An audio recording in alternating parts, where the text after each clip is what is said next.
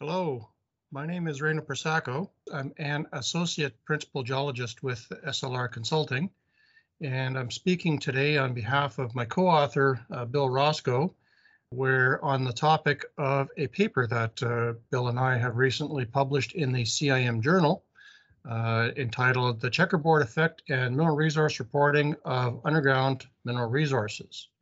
The main topic of the paper uh, discusses the estimation bias that may occur when preparing mineral resource statements from computer assisted uh, block models um, yeah, for mineral resources. At the heart of it, the effect is due to the use of computers in preparing mineral resource estimates.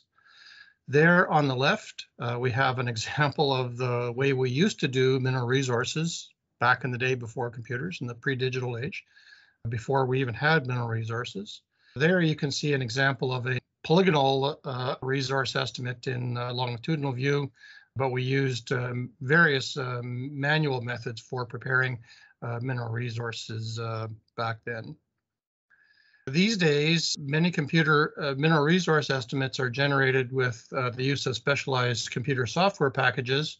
And there in the image on the right uh, is an example of a block model uh, that is color coded by some grade uh, there. So you can see uh, very much a difference in approaches between those two um, methods and vintages of the technology yes, the uh, the digital digital uh, mineral resource estimation workflows allow the implementation of many many advanced uh, methods and techniques and are, uh, allow much more power and information to be coded into the block models.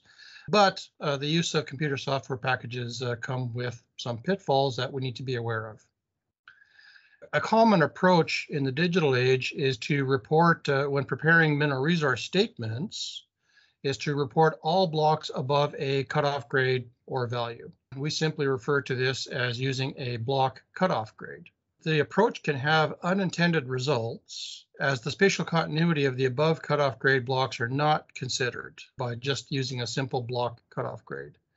As well, the spatial continuity of any internal dilution blocks are not considered either. Uh, there, as an example, uh, there on the left, uh, we have a cartoon of 100 uh, blocks that are arranged in such a spatial configuration that they're very easy. They're all close together. And if we were to pose the question to the computer, go count all the red blocks, uh, the answer would come back as 100. There on the right is another situation. Uh, we still have 100 blocks. And if we apply a simple block cutoff grade where we ask the computer to go and report uh, count all the blocks and report uh, all of the blocks uh, that are in the red above the cutoff grade, the answer would still come back as 100. But that's not the uh, the intent that we want. Uh, clearly, uh, the intent that we want is some some mix of the blocks there in the middle that are the the red blocks above the cutoff grade to four, five, six of those, six or seven of those white blocks that might be uh, included. Those would be the internal dilution blocks, but not counting the numerous uh, isolated uh, red blocks uh, spaced around uh, that central cluster of um, uh, more red blocks. And we, we refer to this condition in our paper as the checkerboard effect. Uh, so the paper goes into some detail as to uh, the sources uh, contributing to this effect and also provides uh, some solutions that are being used by our colleagues uh, in the industry to address this issue. The paper can be found in the CIM journal. It came out in April 2021. It is volume 12, issue 2. The paper is uh, available to CIM members at the link there is CIM.org uh, slash library CIM journal. And there's a little bit of navigation uh, uh once you get to the CIM journal uh, webpage. It's simple enough. Volume 12, issue 2.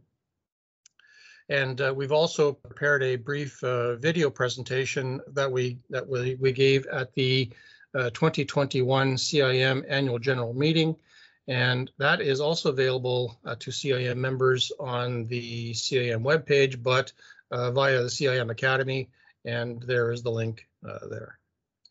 So thank you, and uh, we hope that uh, you enjoy the paper.